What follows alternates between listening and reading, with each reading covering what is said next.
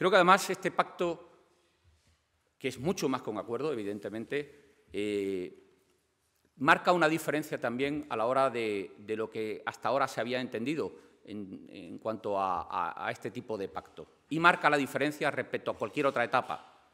Este pacto tiene un calendario establecido, acordado, y marca una segunda diferencia.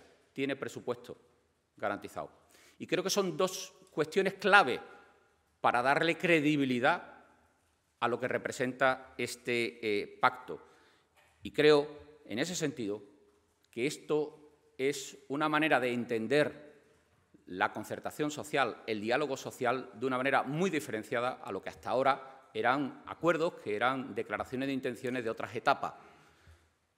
Los acuerdos que nosotros hemos alcanzado se han cumplido prácticamente en los relacionados con la etapa COVID, pero ahora se trataba de hacer algo mucho más, algo con mirada y enfoque mucho más largo, pero también con medidas urgentes. Por eso creo que hoy nuestra comunidad se presenta como la, de mayor estabilidad, la de mayor seguridad y la de mayor eh, confianza.